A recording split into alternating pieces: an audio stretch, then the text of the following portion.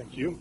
so, ladies and gentlemen, the deportation laws enacted on 26 May 1915, which resulted in the death of at least 800,000 Armenians in the Ottoman Empire involved in World War I, are still an important topic of diplomatic negotiations concerning Turkey.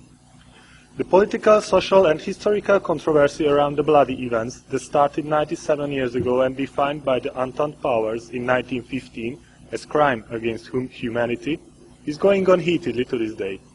Although the views have become more sophisticated over the decades, there is still a wide gap between the Western and the Turkish interpretations of World War I events. Instead of discussing the incidents and precedents of what is legally condemned as genocide in more and more countries in the West, while persistently qualified as deportation or civil war in Turkey, I am going to outline the aftermath of the events, the phases of the developments of the two different interpretations, and their effects on politics and society. The think tanks of the Turkish Republic proclaimed on the ruins of the Ottoman Empire always adjusted their opinion on 1915 to the current diplomatic and foreign political events, but the official stances taken in the course of the 20th century can be divided into three groups. The boundaries of the periods called Ottoman investigative uh, narrative, Republican defensive, and post-national critical narrative by the famous genocide researcher Donald Bloxham are marked by important events in the world politics, notably the declaration of the Turkish Republic, World War II, and the collapse of the Soviet Union.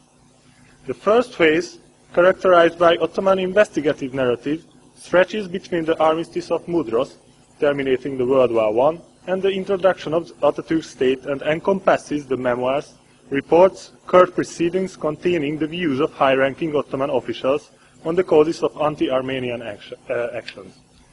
They include the recollection of Said, Kamil, and Talat Pashas, the documents of legal actions taken against the presumed perpetrators of the British occupation of Istanbul, and the official reports of the Ottoman government. This set of documents represents basically two different approaches. The supporters of the old regime expressed that view that the so-called millet system applied in the Ottoman Empire adequately guaranteed the rights of the minorities, so the Christians, including the Armenians, had no right to revolt against the state, despite some minor defects in the system. As the termination of the Turkish War of Independence was drawing close, the opinion that the murderers had acted in defense of the Muslims of Turkey and the Anatolian motherland against the traitor and their Western inciters was gaining ground. What is common to these two narratives is their reluctance to name the murderers and those who ordered the massacres, which already implies the possibility to hold the victims themselves responsible for the atrocities later. The second large period lasted from the early 50s to the early 90s, from the UN resolution after the World War II to the fall of the socialist systems. However, it is not negligible what happened in the 30 years separating the two periods. In the first decades of the Republic, a lot of external and domestic factors hindered the elaboration of the World War I events. They include the political, economic, and social chaos caused by nine years of warfare, the infiltration of functionaries of Committee of Union and Progress in the state machinery of the Republic, the sweeping reforms launched by Mustafa Kemal, and later the threat of the Second World War for several years. A single event of signal importance was Atatürk's parliamentary speech lasting 36 hours in 1927, the Nutuk, in which he narrated the story of the World War of Independence from his own angle, thereby discrediting any other concept of history in Turkish political and scientific discourse for decades. What is more, by starting his speech with his arrival in Samsun in 1990, all preceding events become, became qualified as belonging to the category of necessary evil of prehistory, leading to the proclamation of the Republic. The beginning of the Republican defensive narrative is marked by the appearance of Esad Uras, the Armenians in History and the Armenian Question, and Yege Chark, the Armenians on the Service of Turkish State in 1953. Or, if you want, uh, uh, the Turkish uh, name of these books are uh, um,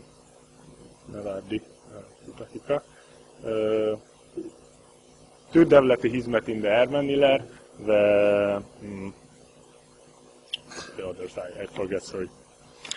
So Capitalizing on the more, more, liberal atmosphere, after the fall of the state party led by Ismet İnönü, the authors tried to prove in response to the UN resolution of 1948 that the events between 1915 and 1917 were no genocide.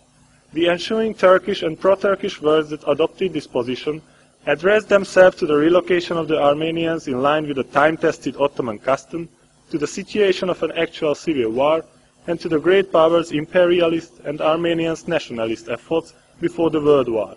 It must be added that the murder of Turkish diplomats and their families by Asala and other Armenian terrorist groups between 1973 and 1985 poured much uh, oil on the fire of this position. Although the silence of the 60s and 70s, which was owed mainly by the censorship brought by the two military coups, appeared to be broken by the Armenian action, voices only strengthened from the mid-80s.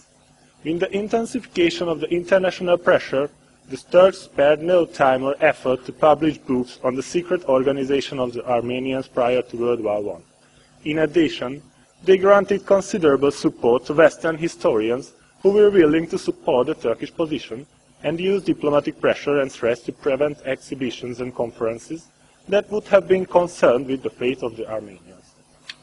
The major changes of the 19th shook the foundation of the Turkish position that were believed to be firm and unshakable. Turkey, as the easternmost stronghold of NATO during the Cold War, whose domestic affairs was practically controlled by the CIA, began to lose its strategic significance. In this situation, the European countries passed resolution acknowledging the Armenian massacres as genocide one after the other. Though some hope arose for the normalization of Turkish-Armenian relations, with the outbreak of the Armenian-Azeri war for the province of Karabakh, rapprochement between the two countries was made impossible for decades. Having Europe in mind, Turkey had to realize that the precondition for EU integration was the elaboration of the past as fast as possible. Owing partly to this, works of a more critical tone are also appearing now after the earlier dogmatic books. This post-nationalist critical narrative characterizes the present, when the nationalist stance may also go together with the open recognition of the responsibility of the Ottoman Turks. This is also demonstrable at the level of society. After the killing of the Armenian journalist of, Rand, of Istanbul Hrant tens of thousands of Turks took part in mass demonstrations with posters claiming, we are all Hrant We may also recall the commemoration three years ago at Haydarpasha railway station to pay tribute to the memory of the Armenian leaders put on train on 24 April 1915. The most outstanding event in the political sphere was the signing in Switzerland in 2009 of the Armenian-Turkish Memorandum, which, however, is still awaiting mutual ratification. Today's official Turkish position is perhaps most accurately summed up by the words of Prime Minister Recep Tayyip Erdogan, who said to the question of a German paper, Turkey does not, does not deny the sufferings of the Armenians, but we repudiate the accusation that Turkey had committed genocide. We hope that the Committee of Armenian and Turkish Historians that was set up as an outcome of the Zurich Protocol will play an important role. After Turkey, let us see the voices of the West, so Europe, America, Armenia, and Israel. Though being less changeable over the decades, their positions were also subject to the paramount interests of global political and military strategic considerations. After the analogy of Swiss historian Hans Lukas Kieser, the events of the past nearly 100 years can be divided into five shorter periods from a Western viewpoint. I touch briefly on the first three and then discuss the last two in more detail. The first phase rests on the World War I reports and the first-hand recollections of missionaries, embassy personnel, and the military officers.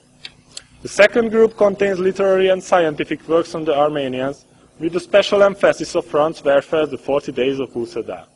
The third phase stretches between the UN resolution and the late 60s. Mention must be made of a great demonstration in Yerevan on the 50th anniversary of the events with the participation of tens of thousands of Armenians. It is to be noted at this juncture that Khrushchev, who supported the demonstration, wished to pursue Stalin's Armenian policy. That meant in practice massive support by the Soviet leaders for the Armenian demand to revise the Lausanne Peace Treaty and replace it with the territorially far more advantageous resolutions of the Sèvres Treaty. After the World War, this effort was evidently not backed up by the USA, the leading European powers of Turkey. The beginning of the fourth phase is marked by the manhunt, manhunt carried out against dozens of Turkish diplomats by GCO, AG and Asala. To a certain degree, these murderers causing much uproar over the world achieved their goal. The Armenian tragedy in the World War I was talked about more and more widely. That was in part due to the increased interest of historians and to the lobbying of the affluent and settled European American Armenia diaspora as well. The first concrete result was the resolution to designate April 24th as the National Day of Remembrance of Man's Inhumanity to Man in 1975. It was followed by ever more heated disputes in the UNO to condemn Turkey guilty of genocide, a crime already declared to be imprescriptible.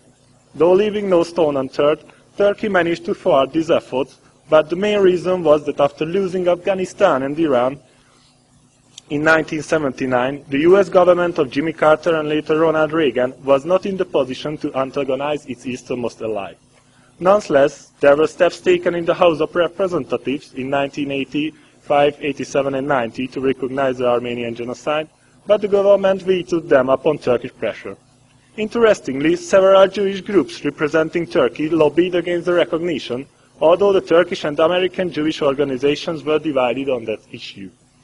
Uh, in the polemics going in Israel also at present, the liberal side deems it its moral duty to help the fellow sufferers, while others fear that the recognition of the Armenian genocide would endanger the concept of the Shoah as unique and irrepudiable. To strengthen cooperation, Turkey began to announce louder the stories of Turkish diplomats saving Jews during the Holocaust. Although the decades-old Turkish-Israeli alliance is crumbling, Tel Aviv has not officially condemned Turkey for the crimes against the Armenians, although putting it on the agenda has been raised several times in response to Erdogan's anti-Israeli rhetoric. We have arrived to, to, uh, to, the last phase to be discussed now. It comprises, just as in Bloxham's periodization, the events of the 20 years after the collapse of the Soviet Union. As mentioned earlier, with the decline in, its, in the strategic importance of Turkey, more and more European countries began to recognize the events of 1915-1917 as genocide. These resolutions, however, rested on actual political rather than moral grounds in the majority of the cases. The Italians, for example, took this stance to hinder the integration process of Turkey, which became an official candidate country in 1999, while the Fre French politicians vie for the numerous and economically powerful Armenian votes by keeping the issue in the agenda. South American countries such as Argentina and Uruguay can also be mentioned which passed their laws condemning Turkey upon the pressure of the Armenian diaspora. For the USA, the Turks are still high priority allies, as their role played in both Iraqi wars confirms. Though in the early 2000s there was another attempt to pass through the House of Representatives the recognition of the genocide, after its failure, the initiative to dissent had come to a standstill. Russia, by contrast, which supported the Armenians in the Karabakh conflict and still stations considerable forces in Armenia, recognized the genocide in 1995. After the success of the so-called football diplomacy, they took an active part together with the Americans to conclude the Armenian-Turkish Accord in 2009, apparently the most important move over the past 20 years. Although in both countries hostile demonstrators greeted the signatory foreign ministers arriving home, and neither the Armenian nor the Turkish parliament has ratified the memorandum, which actually only proposes the start of bilateral talks, there is maybe some hope that, the future, that in the future arms will be replaced by dialogue. As you will have concluded from the above said, the Armenian issue has not been settled conclusively despite the 100 years or so that passed since. Turkey and Armenia are still fighting for their presumed or real truth in the labyrinths of diplomacy, the former on the basis of its growing economic strength, the latter relying on members of its diaspora. Though emotions are still running high in both countries, Perhaps the economic interest will force the parties to agree sooner or later. I for one only hope that it will be soon as possible. Not so much earlier a paper like this might have stirred murderous passions in some countries. In enlightened Europe, researchers whose opinion, opinion diverged from the officially taken stance may face even legal actions, as Oriental scholar Bernard Lewis' case in France proves. Despite these flagrant cases, there are innumerable positive signs that the young generation will come to an understanding.